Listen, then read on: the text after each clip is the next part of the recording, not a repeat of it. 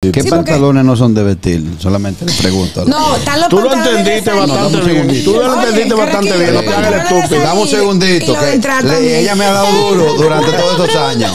Me ha dado es una- duro durante eso- todos estos años y la, la cogí fuera de Es base. una posición que todo el mundo sabe cuáles son. Eh, Pero si le dice así a los pantalones que son de tela, los pantalones de tela fina, los pantalones Ok, formales. O sea que los jeans no son de vestir. Eh, Yo ando en cuero. No, cuero. Dame un segundito que la cogí fuera de base y me miré. Él se apechó, él se apechó ahora. Gustoso, le invito a que nos sigan en nuestro canal de YouTube, activen la campanita de notificaciones para que vean todo el contenido de este programazo. El gusto. El gusto, el gusto de las 12. Amigos, estamos de vuelta ya en el gusto de las 12. Está con nosotros Linet Toribio. Bienvenida. Bienvenida, Linet.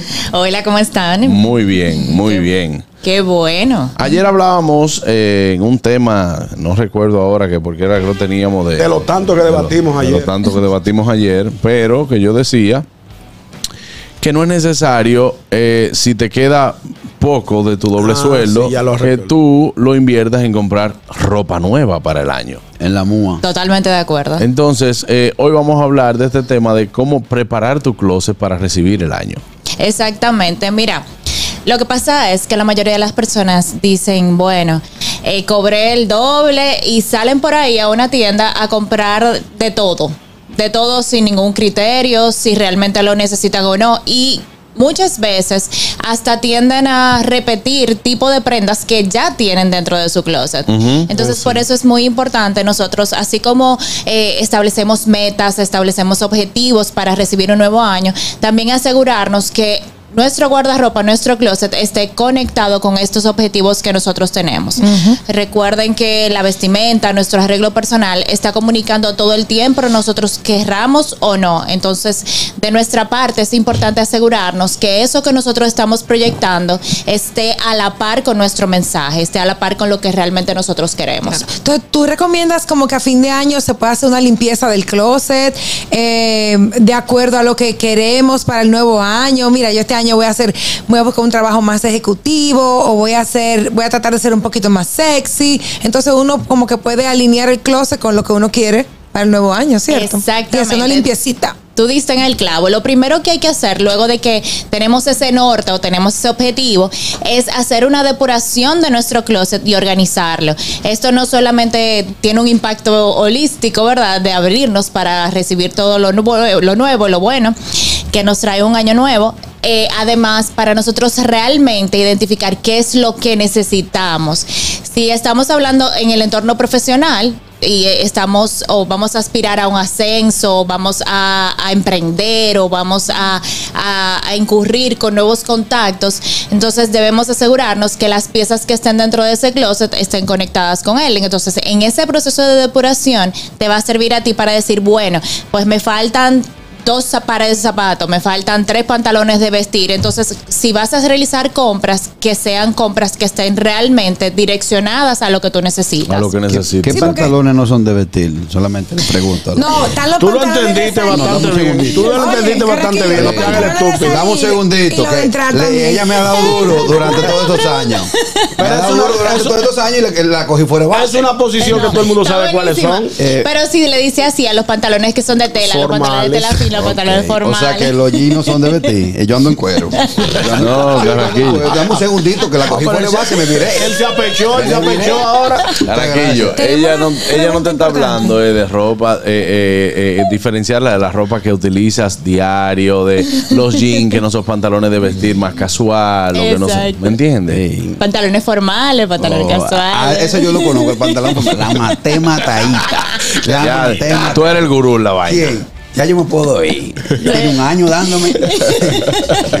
Lo que te iba a decir, Linet, una, una- un comentario realmente que vale la pena, Carrasquillo, Muchas gracias. es que muchas Oh, veces en, en esta, no, yo relajando, en estas fechas solemos comprar cosas muy de temporada. Entonces, durante el año entero no ni la usamos o ya no están de moda y demás. Entonces, queremos tener brillo, queremos tener lentejuelas, queremos tener cosas que están eh, muy de moda en esta época navideña, pero a veces no son tan funcionales. Entonces, ¿cómo- ¿cómo uno puede hacer un rejueguito con eso? Entonces, mira, dijiste, quiero el año que viene salir más. conocer nuevas personas. Ay, no. En el No, ámbito romántico.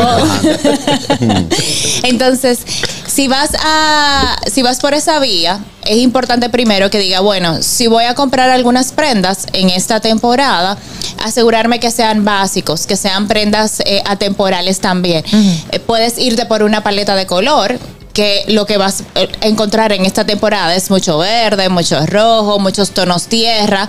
Puedes comprarlo porque eso tú lo usas el año completo. Claro. Y si no forma parte de tu estilo, el tener muchas lentejuelas o utilizarlas en otra temporada que no sea esta, entonces esas no son prendas que yo te recomiendo eh, Exacto. adquirir. Si lo vas a hacer, hazlo, hazlo en bajo costo, quizás una para ponértela el 31, pero que no inviertas tanto dinero en este tipo de piezas, empezando por ahí.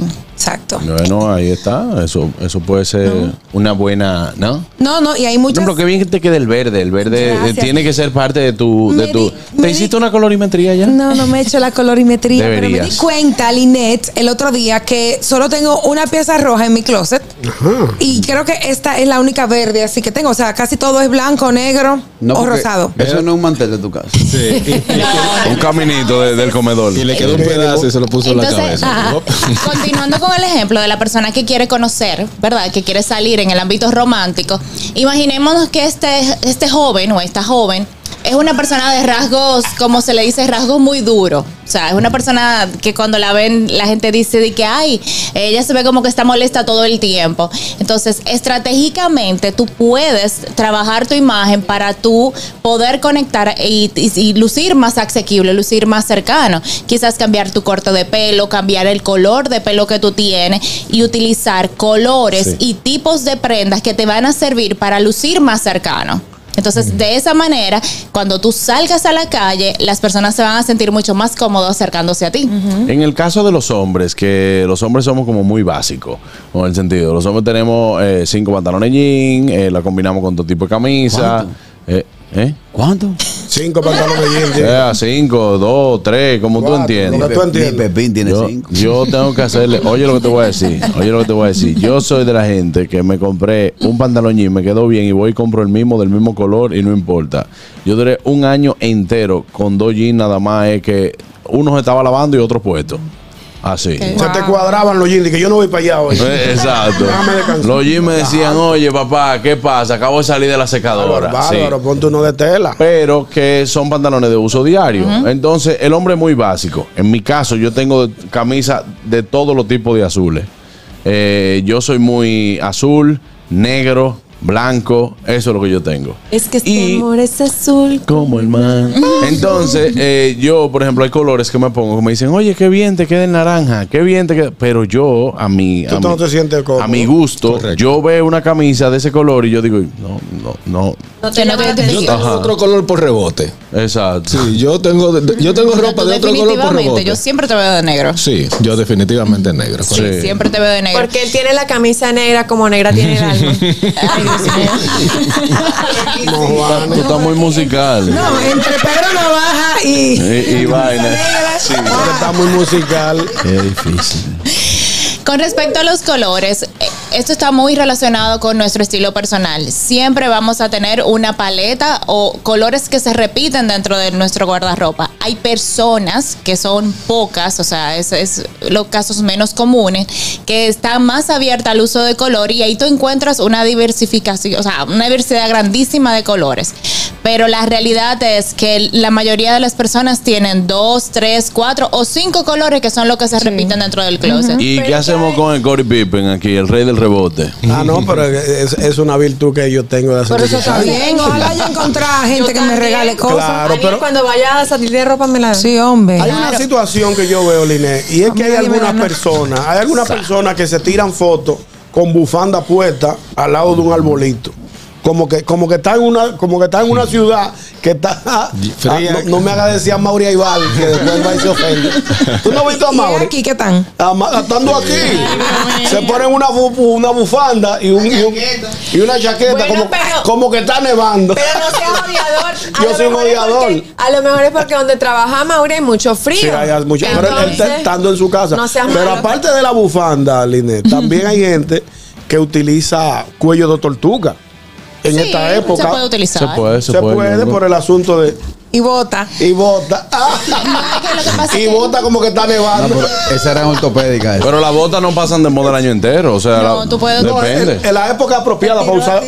¿Qué? ¿Qué? Dice cuello tortuga y Dice que bota. tú usas cuello tortuga y bota. Por Or- supuesto. ortopédica. Está haciendo época, fría. ¿Tú estás ¿A dónde que tú estás viviendo? ¿En Constanza? Claro, en esta- Ven, siéntate aquí, bandido. Vamos a ver qué dice la gente. Tú estás en chencha. Buenas. Bárbaro Ñongo me leyó la mente. Diga entonces qué usted piensa. Profesora, yo perdí un par de libritas, estoy heavy, me sirve la ropa Pues, deshevitada para atrás.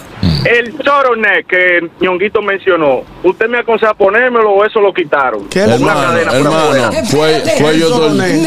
cuello de tortuga, toro, ¿Cómo es? Eh, yo vivo El aquí, coronel, profesor, coronel. escúcheme. toro, El. Turtleneck.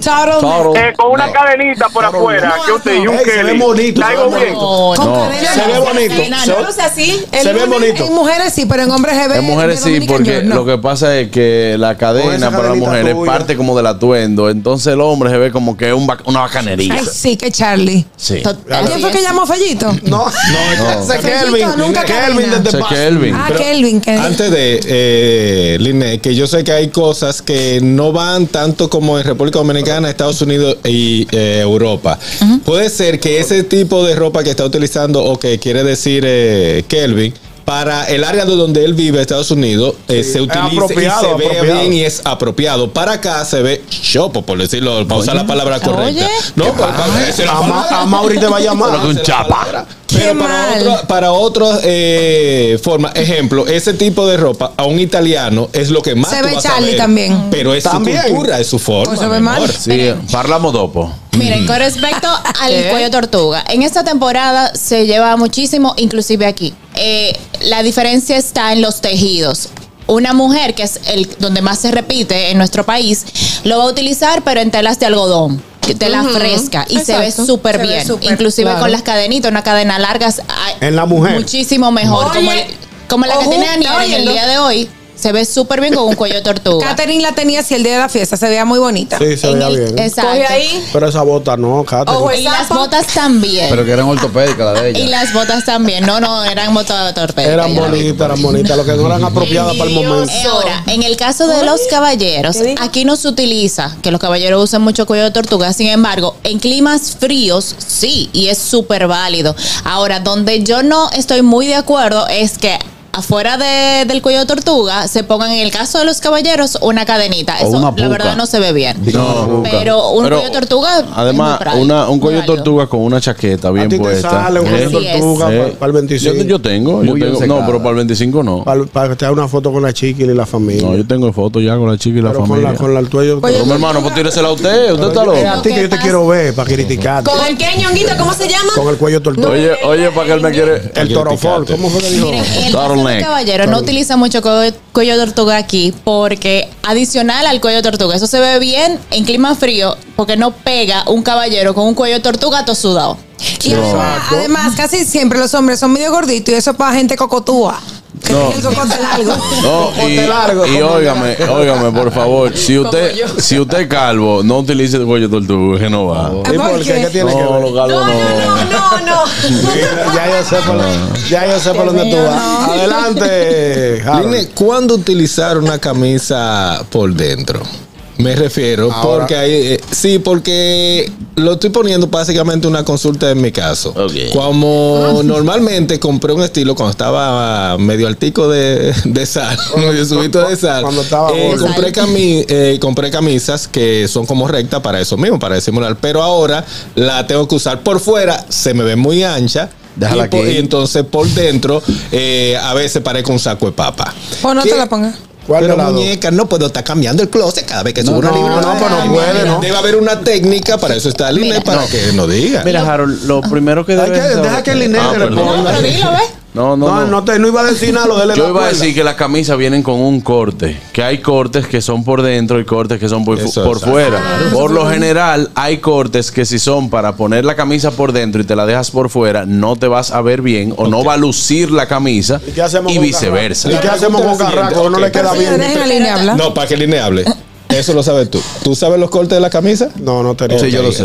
Usted lo sabe. Yo no lo sé y puede ser que otras Use personas lo. J. Para eso la Y profesional me puede fuera decir. de eso, o sea, primero tú puedes llevarla a ajustar. Sí, correcto. Llevas una modista, un sastre que te la vayan a ajustar a tu nuevo size. Lo primero. Además de eso, de lo que eh, estaba diciendo Juan Carlos, del corte, de la estructura de la prenda, porque hay camisas que tienen hasta una apertura hacia los lados, que es que son camisas que van 100% por fuera. Está también tú ponderar la ocasión. Si tú vas a una actividad y es informal y es casual, la verdad que utilizar una camisa por dentro de un jean realmente no se ve tan bien. Ahora, si tú vas a una actividad que tiene un mayor nivel de formalidad, esa camisa sí o sí debe de ir por dentro. O si no, como ya rebajó, que se la amarre aquí en el. En No, así no amarrada, no. A los hombres no les luce la ropa amarrada. Eh, Linet, eh, ¿qué tú aconsejas a aquellos caballeros que utilizan la ropa de los hijos? No, o o- que viven- ¿Cómo, cómo lo rompe La los ropa de hijos? los hijos, Ese de porque la- esa ese- camisa ese de la niña, chiqui. mira, no le sale. No, lo que pasa es que ahora él está fuerte. ¿Qué pasa? Eh, se Eso, puso oye, muy Tiene que Gerardo. Tiene que manejar la envidia. esa camisa pasó por un Está mago. Gerardo fue. Encarnación. Escúchame, escúchame. Eh, ¿Qué Ajustando size es la manga camisa para- tuya aquí? Ese sí ¿Eh? abusado. ¿Qué size es la camisa tuya aquí? ¿La mía? ¿X? XL. Ajá. ¿Qué size es la camisa tuya? L. L, ¿verdad? ¿Y la tuya? L. ¿Qué ¿Y por qué a mí no me queda así? Ah, pues tiene que rellenar en el gimnasio, profe. Porque esto es una camisa que yo no mandé en coger manga, yo no mandé nada. eso es lo que a mí me tiene- no Esa fue la importa. camisa que tú le compraste a Carmen, hablador. Que no, esta camisa, señores, es una camisa que se La mandaron que- a hacer aquí. Es de L. Trae la tuya. Yo la traigo cada rato. y Trae- la- No, pero lo, lo de Gerardo es aquí arriba. Está bien, Gerardo. Mira, lo la manga. Lo de para Gerardo es aquí arriba, mira. Lo de. Gerardo es aquí arriba. Entonces te dice, apretado, están duro. facturando. Señores, eh, amigo mío, amigo. Usted dos tonos. ¿Eh? Usted dos tonos. Sí, pero eso por el gol. Eso, oye, Sí, está, soleado, está y miren soleado. algo, si van a comprar con, con su dinerito del doble, vamos a aprovechar esta ocasión, ¿verdad? Esta temporada, ese dinerito extra, para entonces invertir en prendas de buena calidad. Buenos básicos, que son piezas que nunca te van a pasar de moda, o, pi- o piezas que te sirvan para elevar cualquier look. Buenos zapatos, Exacto. buenas carteras, porque a veces nosotros necesitamos ese dinerito extra y son piezas que te van a durar muchísimo dentro de tu closet. Entonces, Exacto. Que las puedes hacer, que las puedes usar con cualquier otra cosa, o sea, que no sea específicamente para un atuendo en especial. Exactamente, exactamente. Y ya luego de que tú tienes identificadas esas piezas claves, es vital que agregues a tu rutina el tu planificar tu vestimenta. O sea, eh, si tú quieres ser estratégico, si tú quieres sacarle mucho más provecho a lo que tú tienes dentro de tu closet, es importante que tú agregues esa planificación, por lo menos la noche antes. Porque si tú te vistes a la carrera, siempre andas, eh, me, me bañas huyendo porque nada más tengo 10, 15 minutos para vestirme, siempre vas a elegir las mismas piezas que ya te has puesto. O sea, las mismas 5, 10, 15 piezas que tienes dentro de tu closet. Claro, y como también a la gente que puede combinar atuendos. O sea, que tú siempre has hablado de eso. Ah, no, Eso mire, te las mujeres que tienen su básico, exacto, ¿no? Lo que te digo. Con tiempo La mujer, tú hacer su básico, su cosa, y diga, señores, sáquela. Así mismo como usted está pensando comprar una ropa para ahora, usted dice, mira, esta es mi ropa, que usted la tenga lista, planchadita, que se vea bonita. Esta va a ser mi ropa para el 24. Y listo. Y Vamos a ver qué dice la gente, pa- buenas. Para comprar también. Claro, claro, claro, claro. Vamos a hablar claro. Dime.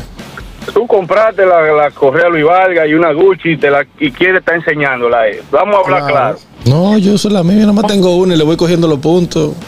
Y ya. Yo no te Sí, complico. yo no me complico. Ah, yo ¿cómo? tengo una y tiene los dos colores. Fifua, fifua. Y Ah, la Sí, voltea. pero esa es otra cosa. Harold. Anda con una correa, con una lengüeta que te da la. la- la- No, él, él le va cortando. Le va cortando igual. Le vas cortando. Pero lo mismo hago yo. Pero, ¿verdad, Aline? Que eso se ve feo. Una lengua larguísima que Sí, te da se la ve vuelta. feo eso. Señores, mira, el hombre. está larga y el no ho- se ve. Eso está larga. El hombre, hombre, tiene que tener dos correas. Una que sea para eh, ropa informa- informal, así. Informal y formal. Y una correa formal. Está correcto. Por lo general, las correas que son formal, correa Meliné, no llevan ese villa grande eh, en, en el medio. Depende de los gustos. No, No, no, no, lleva, no. no lleva. No, no, traje no. sastre de que una villa grande. Ah, No, ya, traje de- no ya No, no, no, esa- traje. exactamente. Por ejemplo, hay hebillas que no son para eso. Y entonces usted, dos correas negras. Yo no tengo correa marrón porque no tengo zapatos marrones. A mí no me gustan para nada. A mí Yo tampoco. uso muchos zapatos. Pero, ¿Cuáles son? pero, pero depende también porque hay trajes o tipos de ropa que van con zapatos marrones. Que Yo- se ve mucho mejor con zapatos marrones. Yo la evito. Porque a ti Por, no te por gustan los ejemplo, marrones. un pantalón azul marino o un pantalón azul se ve mucho mejor con pan- zapato café. Sí, con Exacto. un pantalón imperial. O por ejemplo, imperial, como o por ejemplo un traje eh, gris eh, que te- pu- puede ir con negro también, pero que se ve bien así también con, Por los con zapatos contrastes. marrones, claro. Por Muy aquello de los elegante. colores, ¿no? Sí, mira, yo, Verdad, en el sí. caso mío, que yo tengo. eh, Hoy cogió swing. yo tengo una moda. Yo tengo una moda tipo Sa- longaniza. ¿Eh? ¿Tipo qué? ¿Un tipo longaniza. qué? Sí, que la- ¿Qué moda es esa? Repetida. No todo repetido. Todo repitiendo todo el tiempo. No hay forma de combinar. A mí no me cabe una combinación maya. Él se pone esa camisa con unos pantalones de deporte, Line. Como Sí, si nada. yo lo he visto. Sí. Claro que tú lo has visto. pues, Él tiene Y personalidad. camisa de vestir con pantalones eh, deportivos Ah, y unos deportivo. tenis. Sí, sí, sí. Y te agarro dos Ve puñados de la camisa de mano. vestir. Viste, Oscar. Metí un camisa de vestir, el, Espérate. el hilo conductor. También. Es que sí. No, todo el mundo entiende lo que quiere decir camisa de vestir y pantalón de Señor, vestir. ustedes saben por qué a veces la camisa trae el último jal del botón cruzado, inver- cruzado. ¿Cómo así? Tú ves que todos los ojales de los Ah, botones sí, son así, sí. para abajo, para abajo. Y ustedes saben por qué el último lo trae cruzado. No, no, que si ustedes saben, que yo no, sé tampoco. Yo tam- yo no, que- Y el otro día fue que descubrí que por qué. y viene de un color diferente ¿Por también. qué los botones de los hombres están a la derecha y los de la mujer a la izquierda? En esto ya fue yo descubrí ¿Y por eso. qué? ¿Cuál es la razón? ¿Cuál es la razón? La razón no sé. Bueno, la razón supuesta y alegadamente es que en aquellos tiempos medievales los, o los caballeros se vestían ellos mismos y era más fácil de derecha abotonarse por la derecha. Como las damas de sociedad tenían quien la vestían. vestían, era más fácil para la, eh, la persona que vestía. Para la mucama. para la mucama, gracias, poder abotonarla. Ah, mira, por tiene eso lógica. es que supuesta y alegadamente tradicionalmente Buen dato. Estos son casos, cosas y modas con Harold Díaz. la pegó, tiene lógica. redes. Bueno, Tiene 10 lógica, 10 tiene llamaditas y nos vamos. 10 ¿Cuántas? llamaditas. Ah, no, pues. Era la cara de Mayerlin. Line, gracias, gracias por estar con nosotros. Eh, desearte desde ya una feliz Navidad. Ah, igual para ustedes. Feliz año, año nuevo también, porque no lo vuelvo a ver, yo creo. No, bueno, Bueno. pero te vamos a llamar para cualquier cosa. Sí, sí. Vamos a tener pendiente. Merry Christmas. Consígueme la pinta entera el 24, por favor. Tú no vas para ninguna parte para Ella, ella te puede asesorar, pero no es personal shopper, Carraquillo. Ella es personal shopper, pero no, de él. Pero no para Carraquillo. Imposible, no, no, imposible. me contrata. Exactamente. Él no tiene con qué contratar. Recuerde, puede seguir a Linet Toribio arroba Linet ah, con doble T, así la puede seguir en Instagram. Gracias Linet por estar con nosotros. El gusto, el gusto de las 12.